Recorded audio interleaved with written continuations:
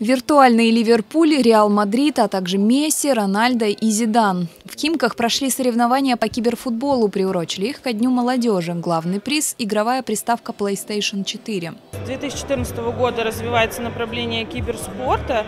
Э, уже целые федерации по городам и регионам у нас э, выстроены. Вот, мы планируем, что в Химках тоже будет у нас своя федерация, скорее всего, потому что каждый год, ежегодно уже традицией стало, что в Химках мы проводим чемпионат по киберфутболу.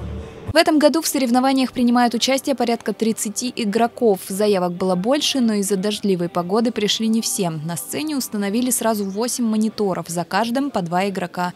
Играют на вылет. Для ребят это не только виртуальный чемпионат, но и возможность показать коллегам свои навыки владения джойстиком. Да и главный приз весьма значимый. Ребята играли несколько часов. Первое место за Валерием Баландиным. Супер, вообще классно, эмоций, эмоций много, настрой, настрой боевой был, так что все супер.